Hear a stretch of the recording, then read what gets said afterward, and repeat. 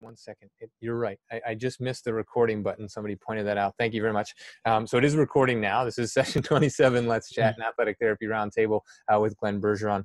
Um, yeah. So it, I wouldn't say that it means you're old. It's just very well established. And anybody hearing that would say there is a ton of experience there. So so where do we start with you, other than asking? Uh, um, what have you been doing during COVID? Anything different? You, you, uh, you starting anything new? Have you been uh, watching? Uh, I don't know, Tiger King. Did you watch Tiger King? Everybody's watching mm-hmm. Tiger King. Yeah, no, I haven't actually. I've been right, pretty perfect. busy because I've had to teach, uh, finish teaching my courses at the university, so we had to go online with the courses and and uh, finish up the lectures and then do the exams and the practical exams. And I'm sure some of you may have had to go through it as students and stuff. So uh, that's that was pretty busy. And then uh, it's actually given me an opportunity to do a little bit more work with our world with the World Federation. So uh, we've been uh, been pretty busy with the World Federation, uh, trying to uh, get our next World Congress established, and um, that will be. We now are able to announce that. That's going to be actually. I'm pretty happy about it. It's going to be here in Winnipeg in 2022. So the CATA and the MATA will be uh, hosting the conference. So that's going to be kind of fun. And um, and also we've been doing some webinars as well. We've we've done one webinar, and I've just now organized two more webinars uh, uh, that the World Federation is going to be sponsoring. On the uh, one on the 23rd of July and one on the 20 no the 4th of August. Um, they're geared primarily to academic institutions who are going to be running programs, either practicum programs or program assessments and things like that. So that's been pretty good, and we've uh, been very pleased with the reception. Our first uh, webinar had uh, over 550 people attend it, so it's been good. Yeah, amazing, and and just sort of uh, you, you, keep carving these paths for ATs, you know, from from the start of your career until now. When you look back, uh, it it must look wholly different now, uh, both with the cataract surgery and and just from the time that's passed. Um, uh, what would you say some of the biggest changes to the profession have been since you sort of started, or since you started keeping an eye on that um, as things have changed? You know, one of the biggest changes that's happened over the years is the change in ratio from male to female, and uh, that there are now in the CATA there are more female therapists, uh, members of the CATA than there are males. Uh, uh, where, as when I started, it was actually dominated by by males. Uh, it was a very small organization when I first started, but I uh, certified in 1975. That was the very very first certification class and in that class, and some of you will know Anne Hartley. Anne Hartley was one of was certified with me at the same time, and I remember going to our like our CATA conference, and she was the only female there. Yeah. Um, wow. And uh, so it's that that has changed the, the, the demographics of the association, I think, for the better. Um, and um, it's been, uh, I think, been a very uh, welcome change to our association.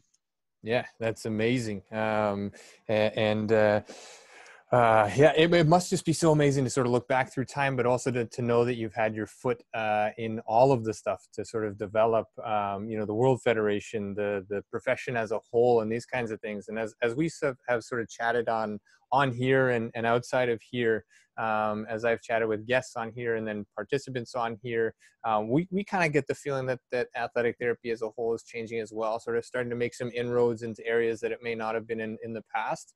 Um, one thing that we've identified, and, and maybe it's a little bit different in Manitoba, I'm not too sure, but um, is, is the, the uh, ability to get in with um, amateur level sports and start having some impact at the grassroots. Is that uh, is that a focus out with you, or, or have you noticed a shift there at all? Uh, maybe in Manitoba or like countrywide, or do you feel that sort of shift coming? Yeah, I think um, we've always had some inroads into amateur sport. Obviously, uh, I know. I mean, I worked amateur sport when I was a student, etc. But the difference is that now is that I did them all for free, and now the uh, uh, amateur sport is, start, is starting to recognize the value of having a professional on uh, at the events, and so and they're they're seeing a monetary value to having that uh, that person there. Uh, in the first instance, preventing the injuries, and the second, if an injury occurs, that they're being properly managed. So, uh, you know, more and more of our people are getting paid positions with amateur sport uh, whereas when I did it, it was all it was all for free. I may have got a T-shirt or a jacket or something, you know. But so that's been a big change. Um, and uh, of course we also have more resources because we have more more people uh, that are graduating from programs and so we're now able to have a, a bigger outreach to a, a, a, whole host of other amateur sports right down to you know the community level sports in um, in hockey football soccer rugby uh, you know those primarily are those sports that we're we're actively involved in um, the other is that it's also like the the profession has has has grown beyond the reaches of just traditional sport. So you know we're in like with Cirque du Soleil, for example, is a major uh, employer of our of our uh, of our profession, and uh, and and other uh, entertainment industry or companies are doing the same thing.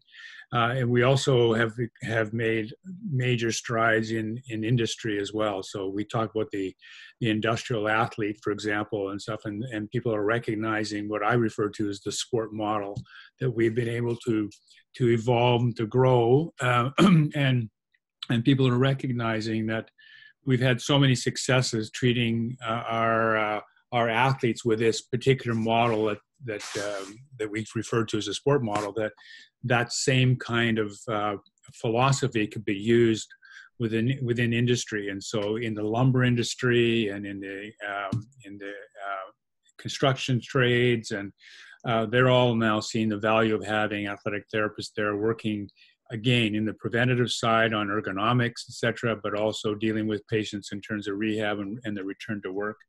And so that's another opportunity for employment the other is that uh, I, I think that we, you know, uh, um, uh, people in the in the in the industries have recognized the the re- really valuable characteristic of, of people who are athletic therapists who choose to come into this profession, who go through the profession and who get trained in the profession, that they have they have really strong people skills. Yeah. And uh, so the fact is that they want to have these people with that kind of character and that kind of um, skill set that they can can identify with people and work with people um, who are injured and get them back to work properly, etc. So uh, there's a whole host of uh, of opportunities. So in the retail industry, for example, um, we have lots of our members are now that are working in the medical uh, medical um, uh, retail uh, industry where they're selling. They're, they're the representative selling. Uh, yep. Um, uh, you know, hip replacements and things. And they're actually, we have some of our people that are in the surgical suites uh, advising the orthopedic surgeon on how to use that particular appliance. Well, these people have got this academic background, this medical background, and they've got the people skills and they've got the passion.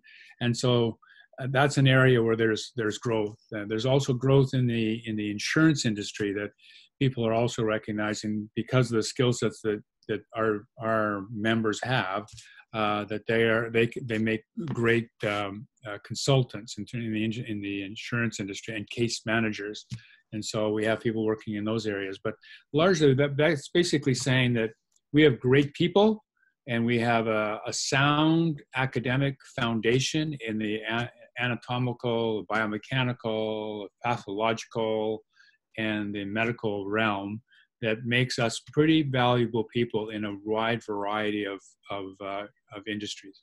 Yeah, I think that's an amazing summary, and uh, I think we can all take uh, any number of points away from that one. And and for me, one of the ones is um, is definitely sort of the the breadth of of the practice or uh, of the profession uh, in terms of um, you know, coming out of school and, and people not quote unquote getting jobs as athletic therapists, but but there's a ton of work, right? In, as an athletic therapist, and, and you can make a ton of things work um, as you go and sort of get your foothold um, with all the foundational stuff. And you, you touched on the education and the experience and good people and um, and all these things. And um, yeah, I, I just feel like the ability to work uh, to depth with other human beings. That's that's a skill that's never going to go away. and uh, it's never going to not be used or utilized. So um, you captured it so well, and and uh, and I'm, I'm grateful for you to, to sort of summarize all that. And I think uh, uh, uh, that's even great to, to take forward outside of the profession and deliver. If somebody ever asks, you know, what is an athletic therapist? I think you just,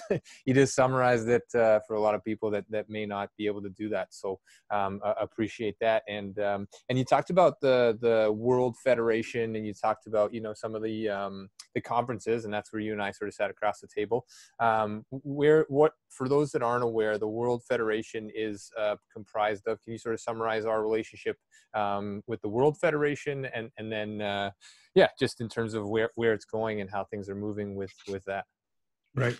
Well, uh, yeah, the World Federation has been in, in existence since uh, the year 2000. So we're in our 20th anniversary right now. So it's it's it's still a baby, I guess, by by the real terms. And when you think that the CATA is uh, over 50 years old, um, so um, uh, and it's it's it's an association of associations. It's not an individual membership one. So you and I could not join the World Federation as an individual, but your represent your association represents it. So the CATA is a is a member of the World Federation. In fact, they were one of the founding members of the association 20 years ago, and uh, we now have uh, we have 42 members, and we represent uh, we represent 26 different countries on four different continents.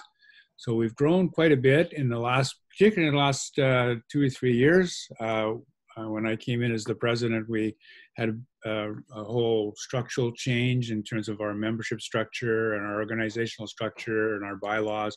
We went through a, the last uh, two years. We've gone through a great big change in terms of how the the association is uh, is structured and managed, and the membership has grown considerably with that. Um, and the, the, mandate of the World Federation is to to is to be the uh, international face of the profession. Um, and and and who do, who we're going to face? Well, we want to we want to be the face. We want to be in the space or uh, we want to be representing this profession to other international allied health professions. So as an example, one of our targets is the International Olympic Committee. Right. Um, and if you have ever an, an, opportunity to look at some of the, the material from the International Olympic Committee uh, as it relates to therapy, it's all physiotherapy. Everything in their in their manuals and their in their in their um, handbooks and their policies, it's all about physiotherapy. So our uh, and one of my personal goals is to change that is to say you, you have to also remember that it's uh, athletic therapy is there too because my experiences and when we go to the to the olympic games and i've been to the, a few of them now uh, that's the athletic therapists that are doing the bulk of the work if you're thinking about some of the countries uh, where there is athletic therapy. It's it's a we have a we have a very strong contingent of uh, of members working in Olympic Games, and and and yet we're not really recognized to any great extent as a professional name. And so that's one of the, and then there are others like there's the FIMS and there's the European Association and there's the Asian Sports Medicine Association. We want to be able to make sure that we're well recognized at, at those uh, uh, by those professions. Um, and in order to do that, is to be a world federation. Obviously, we have to have, we have to have far more members than we have now. Uh, so we represent 26 countries, but there are 206 countries in the world. Right. Um, the World Chiropractic Association represents 126 countries. So we have a lot of work to do before we can actually say that we're a legitimate entity. But we are making some real strong inroads in in uh, some very interesting parts of the world. We've been we've done a lot of work over the last two years in Jordan, and to the point where they're going to have an association. We've done work in Greece, and there's an association in Greece. Uh, we've done uh, we're working in Trinidad, Tobago, Tobago are creating an association. Uh, Morocco. Um, uh, we're working with people in Germany and France uh, and Switzerland uh, to to start to form associations. So it's going to grow over time over a period of time, and yeah. Uh, and I, I always say the stronger that the World Federation is, it makes every one of our member organizations that much stronger because you will now be able to to look and say if you want to sort of uh, provide credibility and validity for the Canadian Athletic Therapists Association, you will say to people in your own country, you say, we're not just a domestic uh, organization here. We are part of a global movement. And here's the World Federation of which we are a member. In fact, we are a founding member. And that just turns around and says, oh, then this association, your association, the CATA, um, must have some credibility. If they have this international credibility, then we, we, we have to pay uh, the CATA the respect that it deserves.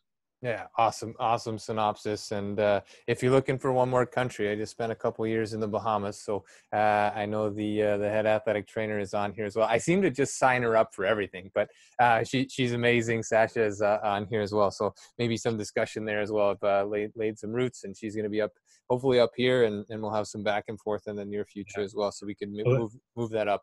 and not a bad place to visit in the winter as well. So I know it's interesting that we we do have we have now we have a uh, European strategic plan, and so we have a group of people in the UK and Ireland and in Greece and Spain who are working on the European strategic plan. We have a Middle East and North Northern Northern Africa strategic plan, which is Jordan will lead that one. Mm-hmm. We have a, a, Caribbean strategic plan, which is Trinidad, Trinidad and Tobago yeah. will lead that one, and then they'll they'll they'll do all the outreach in the Bahamas. And we have an Asian strategic plan right now. We don't have a South American one yet, but that's when the next one we have to work on. Uh, uh, yeah, that's when this gets posted to YouTube and uh, somebody picks it up, and then we're in. Right. Right. We just keep keep having the conversations and getting it out there and uh, highlighting all the things that that we're capable of as a profession and, and uh, amazing work you've done all over the years. And uh, you talked about some of the uh, the Olympic games you've been to and obviously the PhD and the MSc before before or alongside those. Um, it, were you ever sort of uh, set on going one way or the other? Was it an option? You know academia quote unquote academia or or experiential or like on field um, experience, or, or were you always sort of like, I, I like both, I'm going to sort of inter- interconnect them?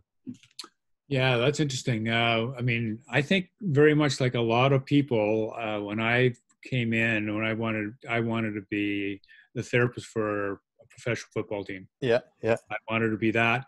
Uh, in fact, uh, my first job offer that I got was with not an offer. I was second in line to, with the Seattle Seahawks. Okay. And so I was applying for that, and I was just young. I I, I don't know. I would never probably would have survived it, but uh, so it's a good thing I didn't get it. Um, but then I worked for the Edmonton Eskimos, and I worked for the Winnipeg Blue Bombers. So I, I had my opportunity to work with professional sport. Um, and as fate would have it, I did. I got an opportunity to work at the University of Winnipeg, um, and I was at, at that time just replacing someone who was working as uh, he was their head therapist at the University of Winnipeg and he was going off to start his master's degree, and I was I was just finishing mine. So I went there for for uh, a semester and and worked at almost no pay, uh, which is part of the story in terms of saying you know you got to take your opportunities where they come because they spill into other things. And then, as it happened uh, over the next couple of years, uh, the job came open at the University of Winnipeg, and I was fortunate enough to get that. So, I worked as the head therapist at the University of Winnipeg for 10 years. And uh, during that time, I felt that it was really important that we start to have an academic program in in athletic therapy, like a, an entrenched one. The programs were they were all sort of um, on the side of your desk, you know, in physical education and things. And I thought we needed to have something that's more was more structured. And so I got invited to go to the University of Manitoba, which is just across the city from me. Mm-hmm. I had been at Winnipeg for ten years, and they they asked me if I would do that, and I and uh, but I was going as the, the director of their their athletic therapy clinic, not an academic position. But they said uh, we do want to move into the academic stream, and we'd like you to, you know, in two or three years, we'd like to move move you up to that. So on that on that sort of premise, that's why I moved to Manitoba. I moved to Manitoba because they had a medical faculty, that there's a bigger university, and I thought, well, that might be the place to put a program. But as it turned out, I was there for nine years and got bogged down all kinds of politics because they have a physio program and a medical school and everything else. So there was right. lots of politics and it ended up not happening. And and then University of Winnipeg came back and said, "We'd like you to come back to University of Winnipeg, and we would like to have the program here." So uh, I jumped at that opportunity. All and right. when I went back to University of Winnipeg, I went back to University of Winnipeg as a faculty member, not as an not as a um, um, an administrator and uh, so that's when I really went into the academic stream of things. Although I was always teaching at the University of Manitoba and University of Winnipeg, I always had teach uh, teaching responsibilities. But this was now and now as a faculty member. But when I moved to University of Winnipeg for that second time as a faculty member, I met with the uh, the administration. I said, I I will come. excuse me, I will come. But part of my academic workload has to be in the clinic.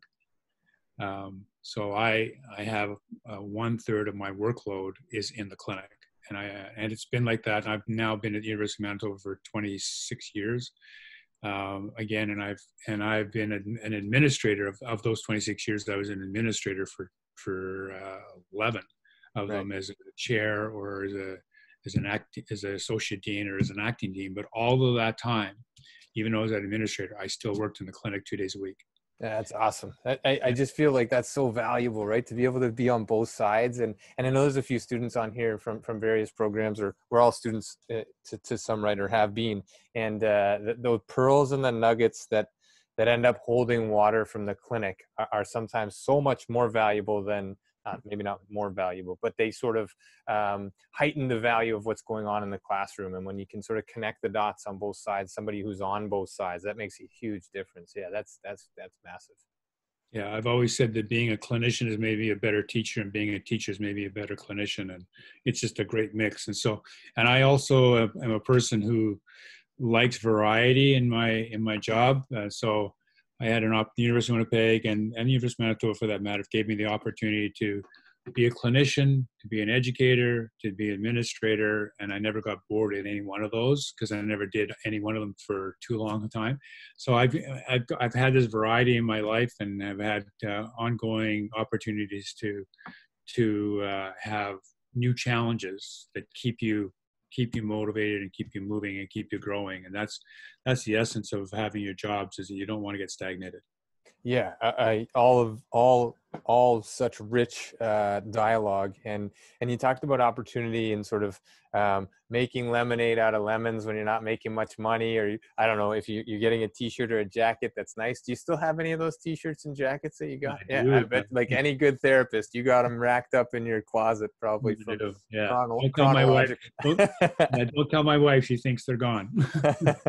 Chronologically somewhere behind the uh, I don't know, fur coats and whatever else is in there. But uh, yeah, and, and, you talk about timing as well, right? And, and and it's not just a matter of good timing or lucky timing. You sort of set yourself up with the road that you create um, academically, the people that you meet, the timing of you know when things are happening and how they're happening. And it seems to be almost like cosmic alignment when you look back at it but your hard work pays off and and all of us have been down the road of not getting paid very much or um, you know working for a t-shirt here and there it, it doesn't last forever and you've talked already about all the amazing opportunities that have been uh, uh, that you've helped in carving as well and i keep coming back around to the conference and you know I, I started out in the us as a as an athletic trainer out of Canadian school, went to the U.S. and then came back. And and with each year that I've been back, I've attempted, you know, I've gone to the CATA conference, been lucky enough to to present as a breakout speaker a couple of times, and and I just feel like that growth and that that shift is really changing. The the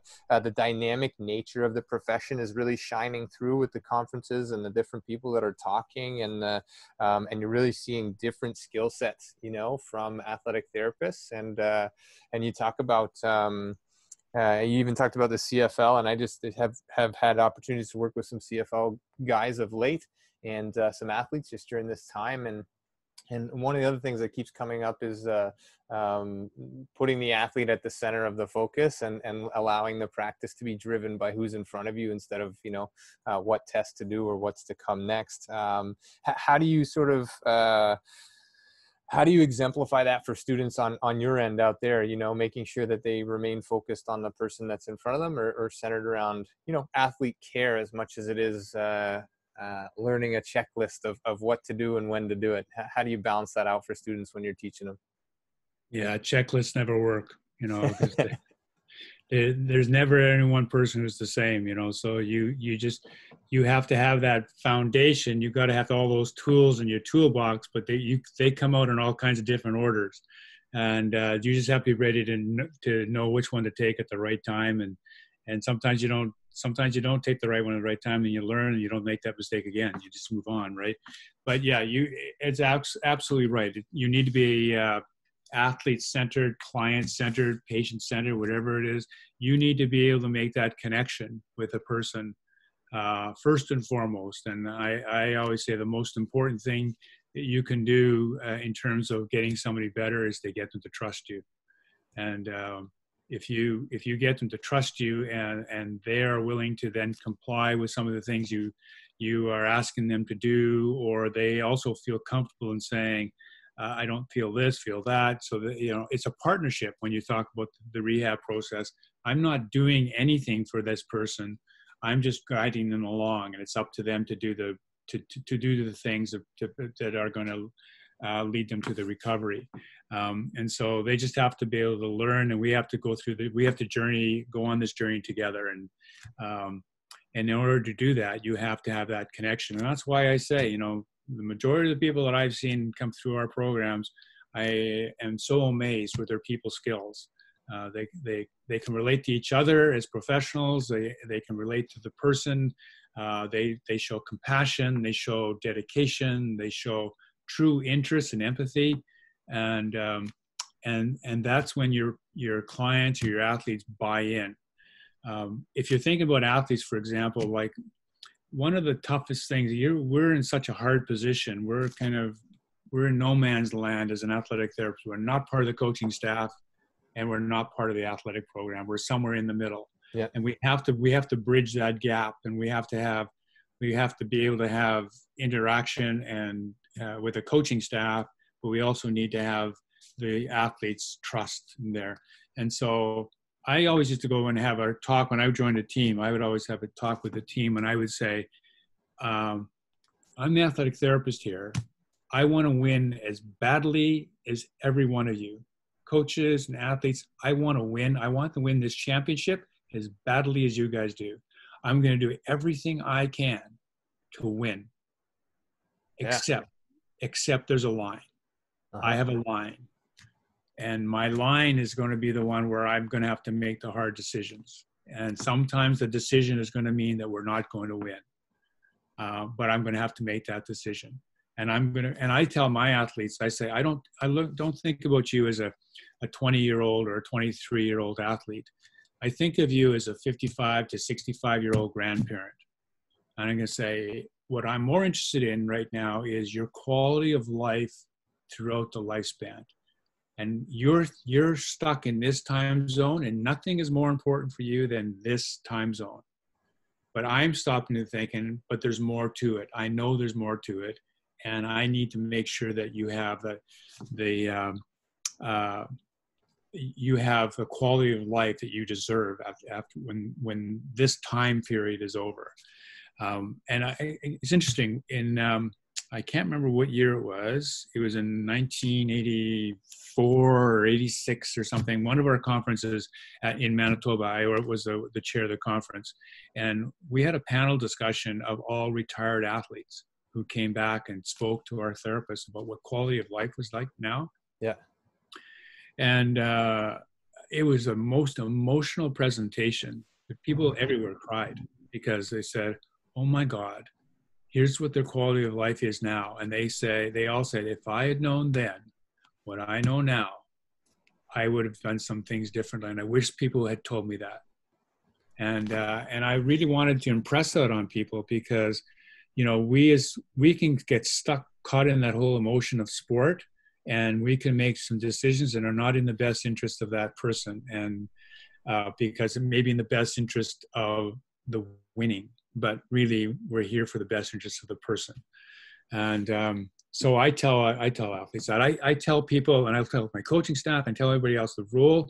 I see my role. It might be different for you, but my role as an athletic therapist is to protect the athlete from the coach. Coaches go, "What are you talking about?" I said, "My role is protect the athlete from the coach." I said, "You as a coach, your job is to win your job is to think about technical and tactical and to win. That's your job. You do your job. Okay. And the athlete is their job is they're going to do everything the coach asks them to do to win.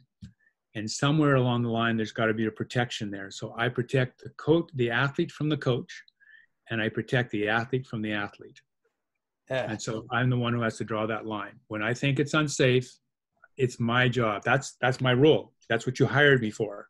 So uh, because you don't want to make that decision and the athlete feels they're not even capable of making that decision so they hire me to make that decision.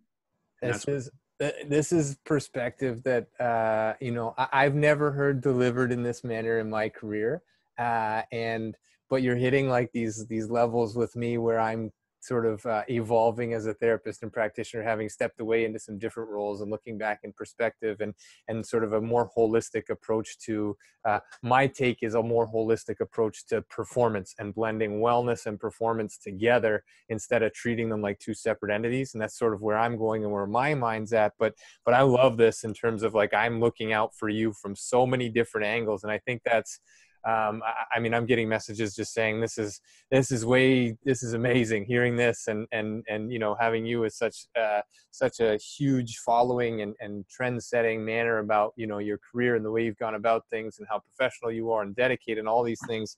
Um, so to hear you say that in that perspective of, of looking at the person as as a as a grandparent uh, in their 20s. Uh, I, that's that's massive. I mean, from experientially, I've worked in in all levels of of, of professional sport, athletics, and university, up and down, and uh, and it's it's hard sometimes, you know, for any one of us in our current role to step outside of the time zone, the space, the the whatever that we're in, right? So even as a therapist, I, I've now now where I'm at look wholly differently than uh, I used to at the whole performance realm. But you talk about um, best interest from a yeah wow from uh, protecting an athlete serving an athlete and then for the longevity of their of their career. Um, on here uh, a week or two ago is talking about just meeting up with a, a young man who who had finished his career as a professional uh, baseball player.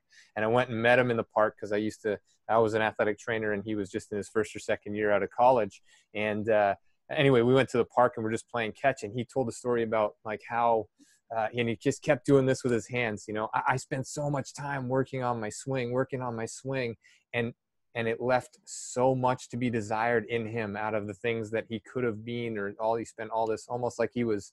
You talk about it. Um, uh, emotional. I, I, mean, I was I, I had my son with me, and I was like, I, I, was getting goosebumps from talking to him, just hearing him speak like this was the end almost, you know, and, and that he had wasted time and wasted effort.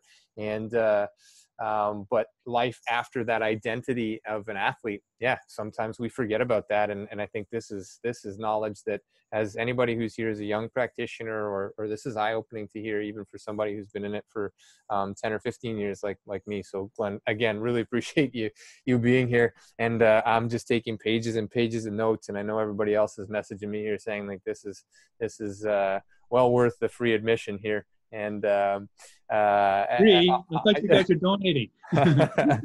awesome to hear. Well, we are. I mean, we're all donating time and things like that. And then the uh, the next CATA conference, I think, again coming back around to, excuse me, the the basis of of these chats.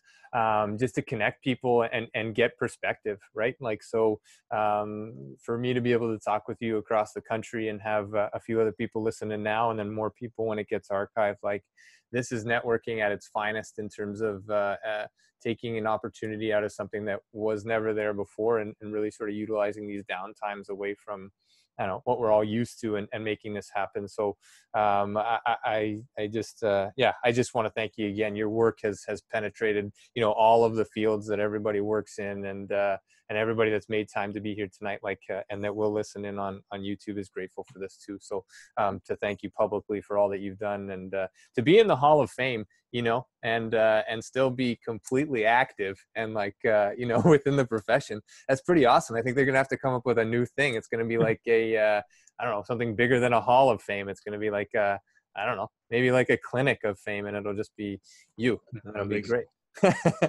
That'd be awesome. Um, so five five Olympic games. I think you worked. Uh, any anything that stands out from working those games, other than like we need more ATs uh, in Olympic games. Um, uh, from, from a memory standpoint, something that really jumped out at you from from any of those that still sort of hangs around. Yeah, you know, I I, whenever anybody talks about that, there's, and I've written about it a couple of times in other areas, but there was one particular incident which was just an amazing, amazing opportunity for me where I, this was in Sydney. And um, in in Sydney, I was the chief therapist for the uh, for the Canadian team, and so I didn't assign myself a, a team event because I I did, wasn't going to have the time to spend time with teams. But I worked with individual teams, so uh, I I worked with Simon Whitfield with the with the marathon, so I was there at the finish line when he won the gold medal and then I followed him around, and you know we had to go and do all the drug testing and everything else, and on that one, and so it was an amazing experience to,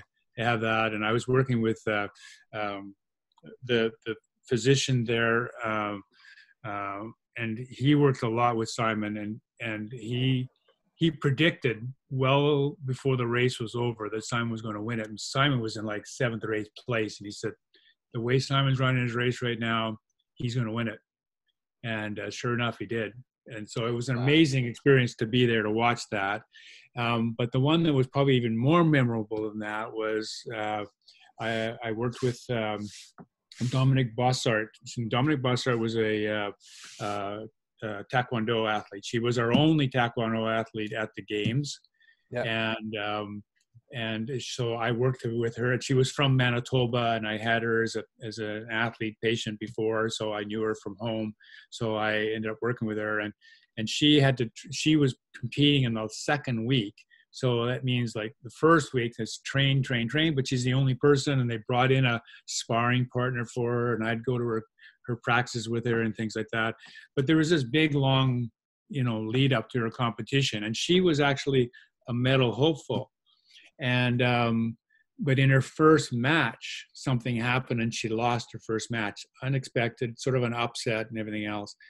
And so that meant that she now had to go through what, what they call it a repechage sort of the roundabout way to get back into the into the medal round.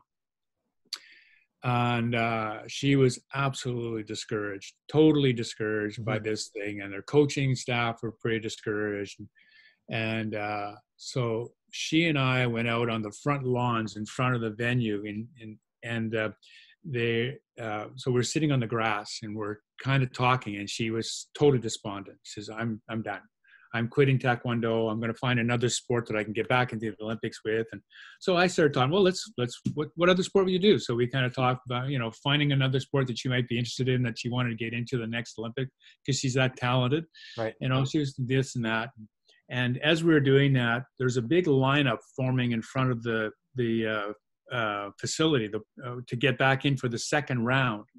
And um, she she was said, "I'm not fighting. I'm not going into the second round because the second round she had to she had to uh, fight someone from Costa Rica, someone that she had fought five or six other times, but had lost most of them and had gotten beat up badly by this girl. She was a huge, very strong girl, yeah. and she says, "I'm not going.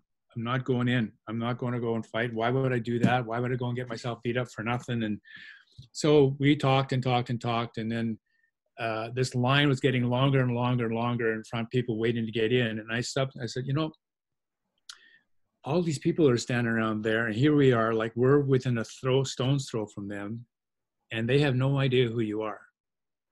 But they're paid money to come and see you fight. But they have, they don't even know who you are. You're sitting right beside them, and they don't know who you are. Hmm. And I said, Your job is to make them know who you are. Wow. I said, You're at the Olympic Games.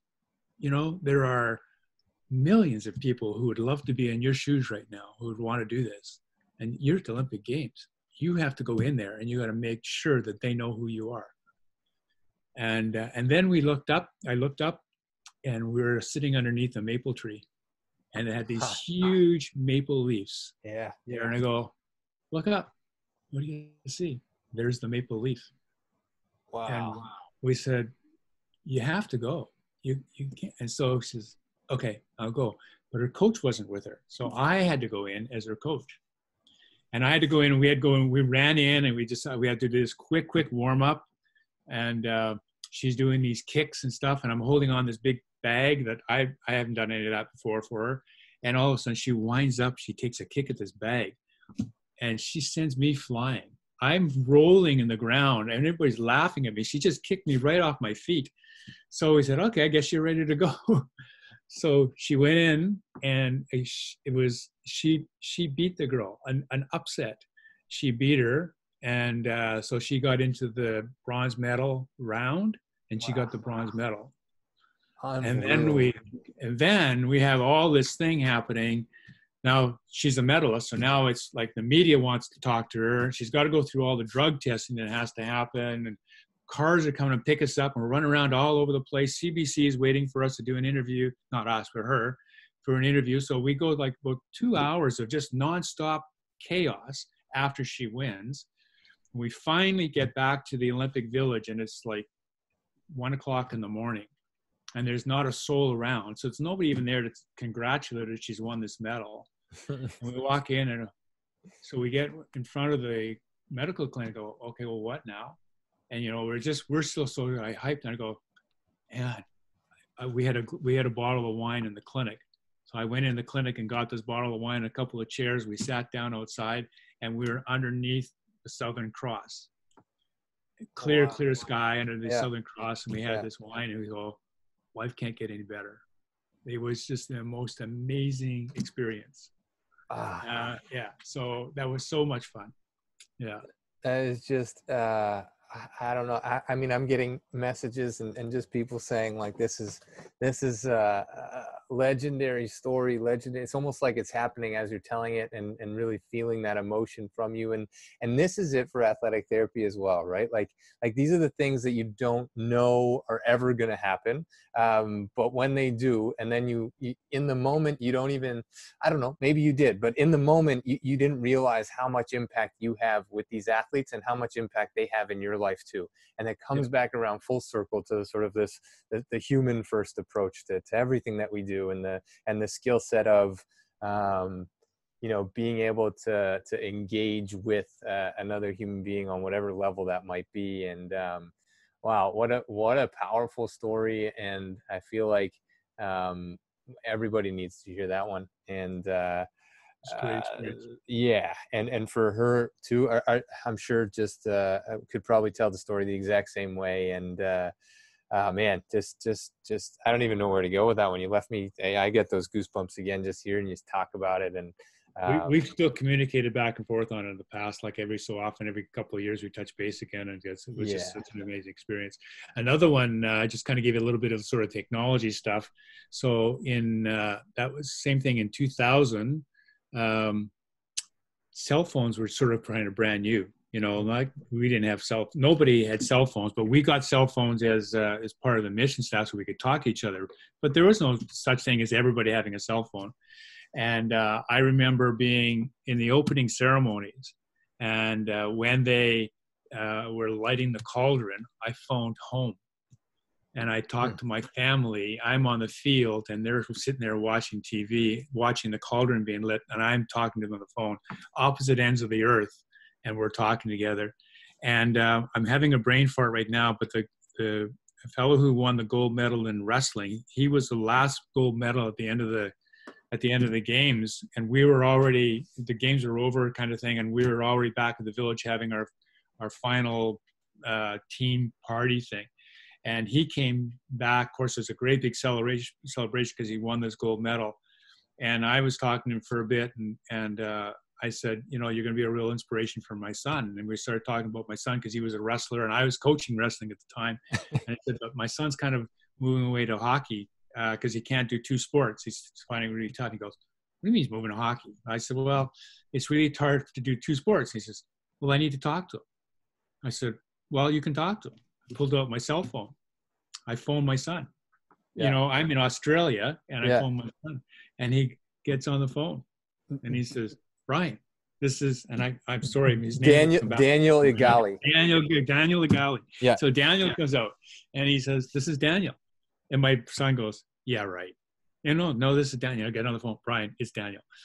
And so he had a, he had a talk with Daniel Igali uh, right after he had his gold medal and my son he's talking to my son you, you need to continue with wrestling i mean it was just an amazing amazing experience my, my son still remembers that to this day wow. so those kinds of experience, olympic experiences are just great you know yeah amazing this and on the other hand i had uh, give you another experience in yeah. barcelona and this is now 1992 and we had i had a sailboarder from manitoba and um, he was a gold medal hopeful for for Canada, and we got there, you know, prior, and he got there. This is like two or three days before the opening ceremonies, and uh, he's in the Olympic Village, and he's walking down a street, and he gets hit by a police car going the wrong way on a one-way street in the Olympic Village, and he breaks his leg.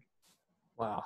And now he gets rushed into our clinic, and we say, well, your Olympic Games are over, right? And so that was really, really hard to, to take. And I had to now make all the arrangements for him to go back, come back to uh, to Winnipeg to see the orthopedic surgeon to get the surgery done here and things like that. Uh, that was a that was a tough one to try and do for this poor guy. His whole career was went down the drain at that one. So yeah, so just, you, you get lots of ups and downs and highs and lows. Yeah, eh, but but all of them sort of uh, you know pivotal moments in careers, right? And you never know what conversation or when it's going to pop up, and the uh, you know different roles that you have to play and different hats that you have to wear as an athletic therapist, no matter where you go, clinic uh, clinic in Winnipeg or Olympic Games, or you know, and and it just sort of brings up that I don't know, that quote is, is just sort of about collecting experiences and not collecting things, right? And that's living life exactly. and that's learning and that's doing, uh, that's doing athletic therapy in, in my uh, short-lived career is, is very much the experiences looking back and not the, uh, uh, not the things. Although those t-shirts are great and they do, they do pack a nice uh, component, a nice portion of my closet as well. But uh, man, so many good experiences that uh, we're getting requests that we could have you on, like uh, might be monthly, and we can just do story time with Glen. is that a thing you'd be you'd be willing to take on? I feel like uh, I I feel like this is um, exactly what therapists could use, um, you know, just to see exactly what's out there. And, and again, another premise of this of this platform was very much to show the diversity in what we do, and having somebody with your experience and and your your willingness to to um, to come on here and share is, is amazing as always. Um, you, can get, you, can get, Alex to come on because he's heard he's heard most of these stories already. yeah. did, did, hey, hey, Alex, do, do these ones change or they, they get they get a little bit bigger? Fishtail, the fish gets a little bigger every time, or does he nail it pretty much every time like this? He nails it pretty much the same each time. Yeah, yeah, yeah. They're exact. They're hard-lived experiences that are just yeah. ingrained and and wow, have shaped you, and I'm sure shaped all your students. And uh, it's amazing to see the impact that uh, that you have had and continue to have. And um, man, just just really grateful for you to be here and share this and, and to lay the foundation for us. Glen, in honesty. Like uh, I, I, sat down at that table as a mentor in 2019 at the CATA conference, and I was like, I know a couple things. Like I'm happy to share my experience. And then you sat down, and I was like, Oh my gosh! Like I'm just going to sit here and just listen this whole time, and it'll be great. And uh, and I pretty much did. And I know uh, I think Nathan was on here anyway. He was at the table as well, um, and uh, and and just nice to sort of like connect dots as we move forward in the profession and and through these times to navigate them together with people and, and listen to stories and experiences that uh, that everyone can share in and and probably acknowledge on their own level that uh, you know it hits home on a certain level with every one of us as therapists and and the roles that we play. Um, I'm sure I can. I'm sure I can learn a lot even from your stories. All of you all have stories already. I'm sure I could. I, I personally could learn from you too. So, uh, anytime I get that opportunity, I'd love to do that. yeah yeah and uh, I, I, think the next conference is going to be this is my thing is like the next conference after hosting these these little let's chat things and, and sort of you know trying to grow uh, the profession in a different kind of way and my own sort of idea of how i can help with that and uh, and everybody else who's on here on a regular basis um, yeah I, I, there's, there's, a few messages coming in so i'm getting distracted because i get distracted by shiny things but uh, um, it, everybody just saying it'd be great to sort of just sit around and uh, maybe maybe we can do like a giant campfire uh, a CATA conference around a campfire with uh, and just tell stories because that'd be pretty awesome too. You you talked about a panel. Um, maybe we get a panel at the next conference that's just uh, 10 of the best and they just tell a story each and, and every everybody can just sit and cry and laugh and, and do all the things that that that we need to do this is uh, this is awesome um, we did have a we did have a panel uh, few years ago, I think probably three years ago, okay. we had a panel of of history panel. It says seven o'clock in the morning, and I go, nobody's going to get up at seven o'clock in the morning to come and listen to a bunch of old farts. Well, the place was full, yeah, and it could have gone up. on for yeah, it could have gone on for the whole day. Like it was just an amazing thing. I could, we should do this more often. Yeah. I, I'll tell you that um, when I was in your shoes and, and uh, when I would go to the CATA conference, um, I, will uh, I'll confess uh, we had sort of the old guard. There was the it was like the founding members. My mentor is Gord Mackey and uh-huh. Chuck Badcock and uh, Ed Nowakowski. Some of these guys. These are all the founding members of the association. And I'm kind of I'm kind of the second wave of the of the profession.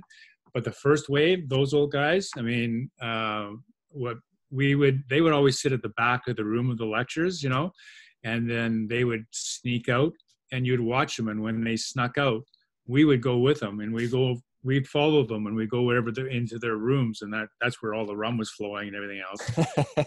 That's where all the stories were being told. Like every night you go you had to go and go and sit with those guys and they'd tell all these stories and it was absolutely amazing to be able to go and listen to see some of the stuff that they had to say you know and and their experiences and how they you know what they their passion was. It was just you know, we were always totally enthralled, but we always used to sneak out of the lectures. And as soon as they went away, we knew, okay, they're going for rum and we're going for the stories.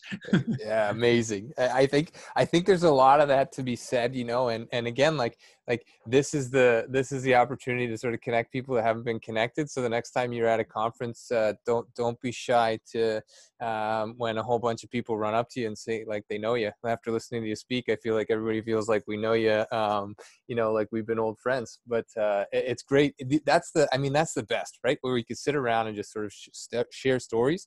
Um, but also i love these conferences now you know and the cata and and some of these where you can go uh, share some story time ha- have some rum if that's your drink of choice, but you better have a drink, uh, and then and then uh, and then stay up until seven in the morning when those uh, when those meetings are happening. I think yeah. half the half the population stayed up, but um, and just you know share the profession, and it just grows organically that way. And and a lot of these discussions on here have been you know interconnected with uh, various practitioners from various fields and i think that's an important uh, thing to acknowledge as well when we talk to to somebody as ingrained as you are. Um, you know it, there's nothing territorial about being a, an athletic therapist either and that's one thing that i really value as a as as a therapist as a professional um, to sort of be open-minded enough to to reach out and refer and be referred to with other professions. Doesn't matter to me where what your background is um, if you're a good practitioner and you're, you're you're willing to help then i think that's important too and and it's nice. The theme has been very uh, organic and everybody feels very much the same way that's been on here. So uh, it's been really cool. Um, I, am just going to open this up quickly glen if, if you're okay for another five or ten minutes. Sure. um, if anybody has any questions or, or comments just feel free to, to um, type them in the chat box or um, uh, or or unmute yourself and, and just have uh, have a chat here quickly before we get to the end of this one. This is uh, yeah, time's flying. I just feel like we just started talking, and uh, this is it. Um, my rum is not flowing, but uh, next time, next time, I think. Uh, so, so 2022, uh, the host is going to be out there, right? Um, and it'll be in summertime, so that'll be good. Uh, not yeah, winter, not winter and winter. It's going to actually going to be a combined CATA World Federation conference. Yeah, very cool. So, yeah, so we're going to be able to bring some international speakers in to speak at the CATA conference. Will be just it will be just great. We they haven't got the theme picked out yet. Well, I think no, there is a theme on. The theme is going to be recovery. Mm-hmm. They haven't got all the speakers, uh, the topics broken out yet, but it should be a great conference. It'll be a lot of fun. Yeah, awesome. Um, so if anybody has anything, please feel free to type that in. 2022, start booking your tickets because I'm sure that one will sell out uh, pretty quickly. And uh, if you're sitting at the back of the room, I know I'm, I know who I'm keeping my eye on when, when you leave. So just so you're aware, I'll be in your back pocket. Uh, is anybody, anybody, anybody, everybody? Yeah. Um, Julie Dixon, uh, tell us about what you would consider the worst injury you've seen. Oh, you know, one of the the one that comes to mind, I'll give you sort of the one that pops out in my mind. Well, it's been now they're starting to pop up all over the place, but the one that really came to mind was when I was the Edmonton Eskimos and uh, our kicker uh, went to kick uh, a punt and he got hit by an opponent, and um, I knew we were in trouble when we were running out on the field. He was lying on his stomach with his head into the ground, but his foot was pointing upwards. Yeah. We had a total fracture dislocation. And of course, the crowd just, you know, they go, oh, you know, the big, oh, kind of thing. And they stick to this. So the first thing we did was go in and cover up his foot so that people didn't have to look at it. But I remember running on the field and go, oh, no, this is not good, you know. So uh, that one comes to mind like right away. And it was really early on in my career. Uh, uh, that was that would have been in 1975, uh, I guess, a long time ago. Um, I remember uh, an athlete, a basketball player here in um, at Manitoba when we had the 1999 Pan Am Games. He was a basketball a basketball player for the Canadian team. Totally dislocated his knee, like, yeah. and so we had to reduce his knee on the field, like on the court, because he had uh, blood circulation. So uh, Dr. Andrew Pipe, who's a doctor uh, with the Canadian team, uh, and I, and well, he did the reduction, I did the holding, and somebody else had to start holding him down, kind of thing. So yeah, that was a, not a good one to have. Uh, yeah, you know, there I've I've never had anybody die on me, thankfully, and um, but um, I've had lots of people with I've had spinals, yeah, a few a few spinals. Yeah, and we talk about sort of the roles and, and the conversations and the experiences, and, uh, and and this again highlights you know sort of the depth of, of our practice and our profession, um, being able to handle anything and everything as it comes and being ready, you know, and so readiness, uh, readiness as therapists that are working in the field or you know e- even outside of the clinic or outside of the field, you you have a skill set that can be applied um, globally in in a situation of need and. Uh, Hmm. um, yeah, it's amazing sort of the breadth and, and the scope, and, and you're able to handle all of these. Uh, I'll tell you. I'll tell you a story. I, I, don't know if Alex has heard this one. I, he probably. I think he has. But uh, he'd hear uh, it again gladly. I'm yeah. sure. I was still a student at this time, and I was working a for nothing for a major junior hockey team in the city, and um, most of the guys were well, they were all the same age as I was, and then some one of them was actually one of my best friends, and uh, he he got hit at center ice. He was looking backwards to receive a pass, mm-hmm. and uh, uh, the, the the opponent, the defenseman who happened to be a city cop, uh, cross-checked him right through the chin, right through the mandible, and lifted him off the ground. And he was in the air, unconscious. And I saw, the, I mean, I saw the hit happen right away, and I knew that this was. I was over the boards before he hit the ground. Um, and I ran over to the to the to him right away, and he was in convulsions, and uh, he had me chewing on on chewing gum, which is another lesson, right? So yeah, I had right. to kind I had to kind of get this gum out, and he was in he was in convulsions, and and I'm trying to deal with him and trying to stabilize him, and we've called for the ambulance already, and and while I'm doing all this stuff, the player is arguing with the referee that he shouldn't have got a major penalty and so he's sort of right there. They didn't get him off, and he's yelling and screaming. And I can hear this in the background, sort of, I think. And I'm, but I'm dealing with the, this player. The ambulance comes, we stabilize him, we board him, we get him off. Uh, and as I'm coming back from, uh, we put, we, we got him out onto into the ambulance, and now I'm coming back onto the ice. And as I'm coming back onto the ice, they're taking him, the player who hit him, off the ice. And he and, and like he's a, a city cop, uh, and in his skates he's six foot eight, right? And I'm I'm five foot ten, and I weigh nothing. And anyways, for some reason or other, I have no idea why, but I jumped him and I hit him. I punched him because I was so mad. So I jumped him and I punched him. And as I punched him, I said, "What am I doing?" Because he's going to turn around and kill me. And luckily enough, my players came and they got me off before he got a swing in and they pulled me away. And they took me away and they took me back into the dressing room. And I got into the dressing room and I was shaking uncontrollably. I was uncontrollable, shaking, shaking, shaking, shaking. And uh, when I reflected back on that, uh, and the, the whole situation, I looked at sort of how I dealt with the thing, and I dealt with the thing very matter of factly. Here's one of my best friends who could be dying, uh, and I have to deal with him, and I just dealt with him like a robot. Yep. Uh, I just went through the protocol I supposed to do. So when you guys do your protocols, you got your ABCs and you got your primary, you know, your your your protocol. you got that's got to be like a robot and i just i just operated like a robot no emotion whatsoever in what i did but then when i when it was all done and he was safe and secure and on his you know on his way then the emotion kicked in and i was a basket case and what i learned from that is if i if that emotion had kicked in while i was taking care of this guy i would not have been able to provide him with the care that he needed Mm-hmm. And it was so important to keep this emotionless because I saw what the emotion did to me after it was over. And uh, that's that's always always stuck with me in terms of you know make sure that you're prepared emotionally make sure you're prepared to do things in a in a robot sort of way at the time of the event you can't afford to let the emotions take over yeah and uh, the only way you can do that is if you prepare every time so um, my students come in when they go to these events. They go, you know, I'm really scared to go, and I go, yeah, and you always should be. You should always be scared prior to an event because you understand the magnitude of the problems that could happen in this event. Mm-hmm. You understand that magnitude, and what you need to do is make sure you're prepared for it. So prepare for the worst and hope for the best but be, be, be ready for the worst. And, uh, that, that to me, that, that experience as a student is what brought that up to me.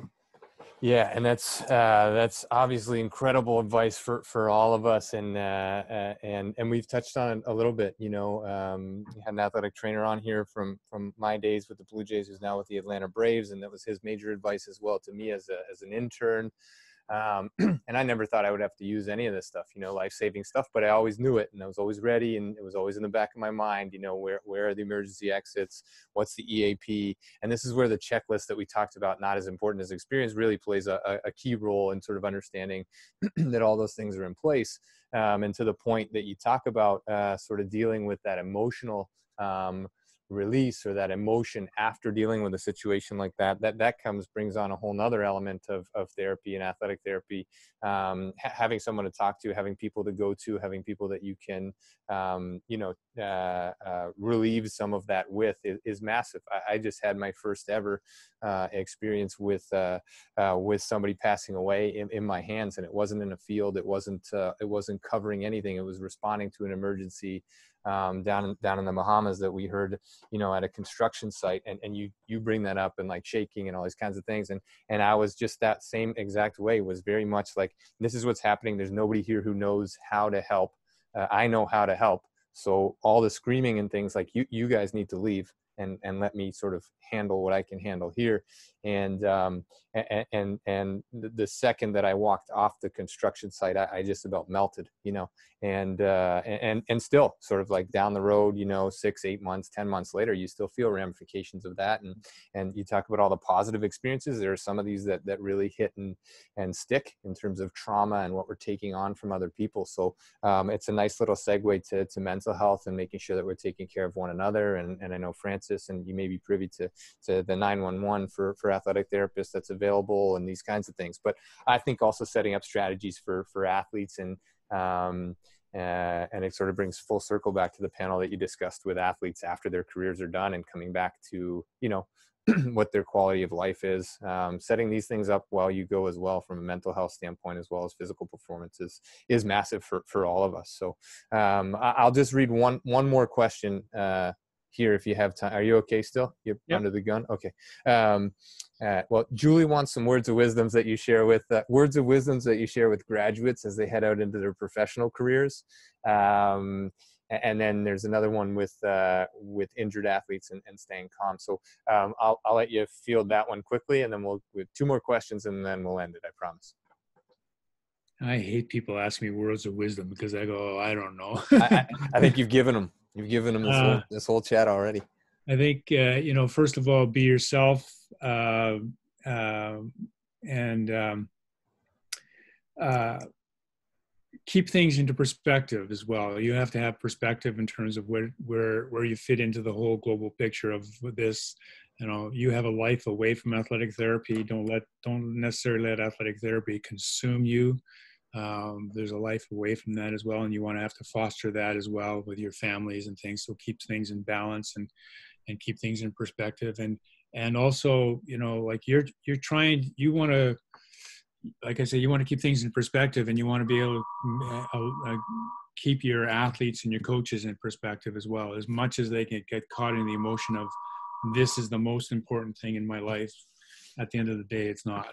I remember uh, a, uh, a, two two quotes. Uh, one from a, and they were both from sportscasters, but one was um, a friend of mine, Scott Taylor. Uh, he he was in the operating room with his wife when she gave birth to their first child. Mm-hmm. And when he came out back out, he said, "I have just witnessed the mo- the greatest athletic event in my life." right, and um, so from that perspective, he says, "You know, that's I mean, that's pretty important." And the other one is a, fellow here in Winnipeg too, uh, uh, Bob Irving, who's a very he's a he's a, he's a legend around here in terms of his football and stuff. And he said, uh, I'll paraphrase it, I think, because I won't know the exact words. He says, "It amazes me how people uh, uh, feel so uh, um, passionate about something that means so little." When you think when you when you stop to think about the the perspective of, of, of you know where sport fits into the whole global thing of life. Like can you tell me who won the Grey Cup in 1973 no right, right. i can't anyways. Um, yeah. uh, you guys weren't even born there so that's a bad year but uh, but you know i mean those are that's what happens right? They're, they're so important in the in the, in the moment yeah. you take it into the grand scheme of things it's it's it's part of life. It's not the only it's not all of life. So keep those things in perspective. Make sure your your family is the most important thing uh, for you because they're going to be there forever and ever uh, where your teammates come and go Amazing, amazing advice. And somehow you tied the irrelevant conversation that you weren't even privy to before you got on here to the relevant conversation because we were just talking about how um, before you got on here how the how the Blue Jays are going to bring the team from uh, Florida to Toronto for their spring training or their second spring training and like that that's all now that's essential travel right so um, anyway just just interesting that, yeah. that, that all comes full circle as well uh, yeah, so a ton of words of wisdoms. Um, strategies or questions you would use to keep injured athletes calm or distracted in emergency situations if they're conscious. Uh, well, it comes down to this whole trusting relationship that you've had, right? So, uh, first of all, you you're the one who has to be calm. You have to be calm mm-hmm. uh, because they're immediately looking into you, and they're you're the barometer as to how bad this injury is because they don't they can't look down at the ankle they're lying down or they don't know that the bone is displaced and stuff but they're looking at you. Uh, and uh, if if you show signs of panic or of extreme concern then they panic. So that's important. You have to when you go to that to the to the scene where you come on to the athlete you need to be calm. So as you're walking or running or jogging out you need to be you need to be calming yourself and then you say okay listen i've become a robot and i now i'm just taking this thing methodically. But you also have to say to talk make sure that you're reassuring them and go to them first. Obviously we all know that. Go to the head first. Go and find out what they're you know whether they're breathing etc but so if they're conscious and they're breathing okay let's just relax you know calm down tell me what's going on move and just make sure that they they feel like they're in good hands. And that happens well before the injury happened right? Yep. So uh, that's that's all about the relationship that you've set up with this team and with that particular athlete.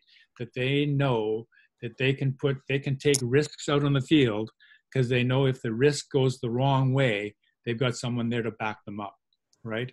And so uh, then you just have to go in and just give them the the, the reassurance we're in control. we're okay, you know, and get yeah. them to calm down. Yeah. yeah yeah super powerful advice. I think sometimes we get so caught in the moment that um, that we forget that everything that we're laying down on a on a day-to-day basis on a conversation to conversation basis that all makes a difference right in the long run. So um, funny story i had i'll just give sort of another little funny story that comes to mind but when i was at the university of manitoba at the time that i was there this was before laval had a football team mm-hmm. uh, University of Manitoba was the only school in Canada that French speaking athletes could come and play football because we had an affiliation with a French-speaking uh, university, Collège Saint Boniface, and uh, so we had all kinds of French athletes uh, being recruited to come and play for us. And our coaches always made a point of bringing those athletes to our clinic to meet me. And, uh, and I would start te- speaking to them in French. And right away they go, oh, it's pas français. And so, yeah, so they right away they go, oh, okay, somebody's going to understand what I have to say. And so they had this connection right away. But then when we were in game situations, if somebody got hurt, I, I'm the lazy one. I don't run out. I send my students, right? So the students would run out. So I'd say, well, this is this is your learning experience. If you got a problem, call me. And then it, and so if one of them would fall down and get hurt, they'd they'd have trouble with them, and then all of a sudden they'd wave me on. I go, oh, this is more serious than we thought it was going to be. I'd run out there, and they'd say, we don't understand a word he's saying. He's speaking in French and he's fluent in English, but he's speaking in French. We can't understand a word he's saying. So I would go down to him and I started talking to him in French. And as soon as I started talking in French, he would relax because now somebody can understand what the hell he's trying to say. But so what it was is when they're in this stressful situation, right. they would revert to their first language. And so they couldn't, now they don't communicate. So I had to come in and initiate this communication. As soon as I did that, oh, okay, I'm good now then we then we do our job right? So it was an interesting uh, when you think about relationship and making sure you have this connection. Um, and you have to learn to talk the language. I've had experiences I've, I've had a really neat experience of working with professional rodeo for example. Right. So i've worked professional rodeo. Well in professional rodeo if you if you go to the rodeo and you don't have cowboy boots wrangler jeans a wrangler shirt a cowboy hat and a buckle they're not going to talk to you Yep. They just won't because they go, well, you don't understand rodeo. And so you guys got to go in there and talk their language. And talking with track and field versus football versus hockey, totally different mm. language, right? So yeah. it's relationships we we need to talk rodeo. I think uh, next conference we'll just just hunker down and just talk rodeo. I'm sure there's some stories of the rodeo and, and getting into that one too. So uh, last last question, I promise. What's the best way to go about advocating uh, athletic training or athletic therapy profession in a country dominated by physical therapy or physical therapists? Yeah. Well, um, we have been. I have been uh, in this. I won't say fight, but in this uh, back and forth, if you want, uh, with physiotherapy from since from the time I I was in in uh, in in athletic therapy programs at the university and stuff. So since 1973, I had been involved in this back and forth with between physio. But one of the things that we said when we were moving towards trying to get legislation and get ourselves in, in on the insurance plans, et cetera, et cetera, I sat down with all of our people and I say, never ever degrade another profession. Yep. Don't. Don't say a bad word about another profession, but always, always build yourself up. You know, but not at the expense of another profession, but at uh, you know, build it. You you need to show what, who you are, what your capacities are, etc. Never ever degrade another profession and we did that and it worked out very well for us as a profession uh, over time particularly in manitoba because we had to do a lot of this groundwork here uh, to set the stage for athletic therapy for insurance coverages uh, etc um, and it worked well for us and other professions did did the opposite and it worked against them. And so yeah. In fact it's interesting i just saw a thing that came out from our MATA uh, today, actually, from our MATA office, and they were saying essentially that it's saying that we don't want to see anybody degrading any other or, organization. And I don't know where it's come from, if it's just something that's a routine sort of message they're going to start putting out right now, mm-hmm. or if we had some issues. But uh, I, have always said never ever degrade another organization. Uh, yeah. yeah. yeah perfect. And uh, and just go back and, and watch this video uh, a couple times before you're presenting anything. There's a ton of good stuff in here in terms of how to how to present what it is that we can really do as a profession and and the breadth and the scope and, and the integrative nature of, of athletic therapy athletic training. So um, really amazing stuff tonight glen. Uh, this has been let's chat an athletic therapy roundtable session 27 um, appreciate you taking the time. I wish you the best of uh, with the recovery fully from uh, from the recent surgery. And uh, and I hope we can stay in touch here in the next uh, next few weeks, next few months, until we can get together again and uh, chase you out of the room with some rum and uh, whatever else you're drinking on on that night. Uh, it's been great, man. Uh, really, really appreciate it. And there's a lot of people out here that if they didn't know you, they know you now, and continue to look up to you and and try to serve our purpose in growing this profession right behind you. So um, appreciate you being on, Glen. Thank you so much. Well, congratulations to you too for doing this. I think it's a it's a great thing. I've been on a few of them and and watching. I think this has been great. So I'm glad you're doing this. Uh, I think this goes a long way to just advance the familiarization of the profession amongst all of us. And uh, I hate to say this because we've heard it so many times now in the last four months, but we're all in this together. Yep, you got it. You, you exactly. You got it. Uh, everybody else, really appreciate you guys being here as well. And for those of you picking it up on YouTube, uh, make sure that uh, you stay on here. Let's chat an athletic therapy roundtable. Our next session will go Sunday night uh, 7:45 Eastern with Joe Hurtubise, a PhD in neuroscience, uh, CATA, uh, now out west. Um, has and she is awesome, and she is fantastic, absolutely. Um, so, uh, Glen, not out to outdo you, man. Uh, really, really appreciate everything that you said, taking it to heart and and using it in the future and uh, and in the current times as well. So, uh, thank you again. This has been amazing, um, and uh, and we'll talk again soon. Okay, take care. Thanks a lot. All right. Good night. See you, Alex.